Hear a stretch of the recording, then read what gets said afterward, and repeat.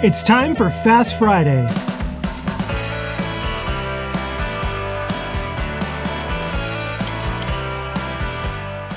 Well, hi everyone, and welcome to Pal2Tech. Excuse the mess.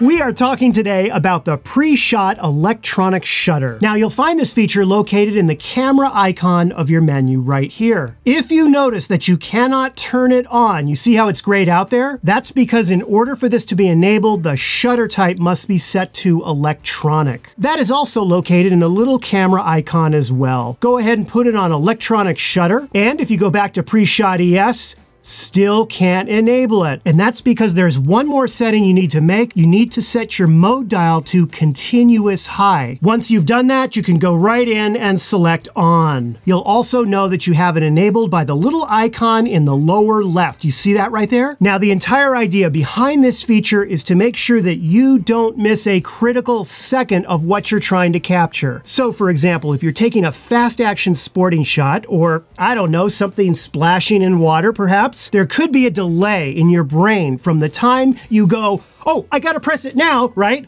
And then press the button until the time the camera records the image on the SD card. There's a lag. And, you know, if you're tired, the lag might be longer, right? And in fact, if you have one of these, that lag could be even longer. So, what this feature does is once you have it enabled, the second that you half press the shutter button, the camera starts taking photos. It doesn't save them to the SD card, but rather it saves them to a memory buffer, like short-term memory. So the logic would be that if you want to capture a really cool action shot, you get all ready, set go, you're half pressing down the shutter button, half pressing it, and the action's about to begin, and then the minute that you see the action begin, you then press the button all the way down to burst mode the shots. But you still might have that little delay in from when your eye sees, oh, it's in frame, I better take the shot, until you actually finish pressing the button down. Doesn't matter because the camera has already pre-shot about 10 frames ahead of that.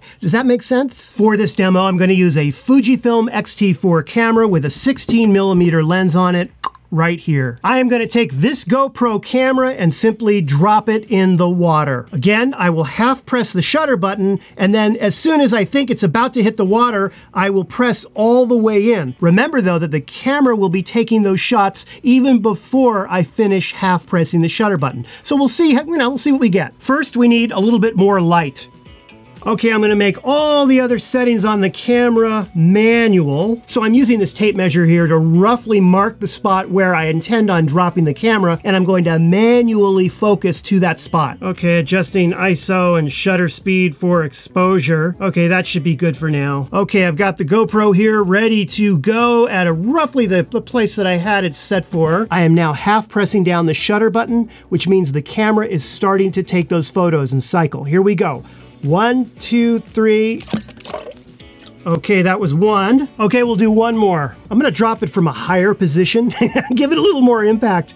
Okay, ready? Here we go. Half pressing the shutter. All right, I think we got something there. Look at how I was able to get the camera the second it went into the water. Have a look at this. Oh, wow. I like it. Okay, so there's a few things that you need to know about this pre-shot electronic shutter feature on Fujifilm camera. The first is that you must have your camera set in both electronic shutter and high-speed burst mode. I told you that already, but it bears repeating. Secondly, you can use this feature with JPEG, RAW files, or both JPEG and RAW, which is really awesome. Third, you could not use a flash because it uses electronic shutter on the camera, which prevents you from using a flash. And lastly, you can alter the burst frame rates that you're shooting with just like when you're shooting in normal burst mode. So for example, I can go into drive setting, high speed burst, and change this to say 30 frames a second if I want. Don't forget though, you have the 1.25 crop if you do that. One final word of caution when shooting with these high speed burst rates, be very careful not to pull out your SD card while that green and amber light is still flashing. It can take a while, especially if you're shooting raw, to save the files to your SD card, so be patient, wait until that light comes out before taking your SD card out. Well, thank you so much for watching, and I really hope you found the video helpful or at least entertaining. And if you did, be sure to give it the like and subscribe. I will be signing off now. Have a wonderful weekend, and I'll see you in a new video next week. Take care.